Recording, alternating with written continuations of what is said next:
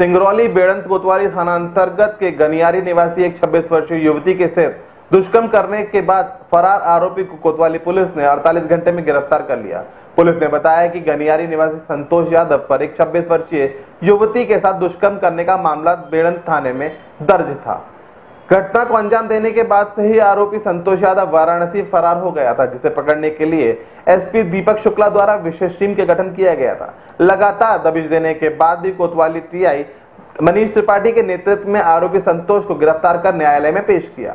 आरोपी को पकड़ने में थाना प्रभारी मनीष त्रिपाठी, एसआई अश्विनी शुक्ला, प्रधान आरक्षक अरविंद द्विवेदी, डीएन सिंह, आरक्षक संजय परियार, महेश पटेल, जितेंद्र सेंगर, महिला आरक्षक श्यामवती सराहनीय भूमिका रही।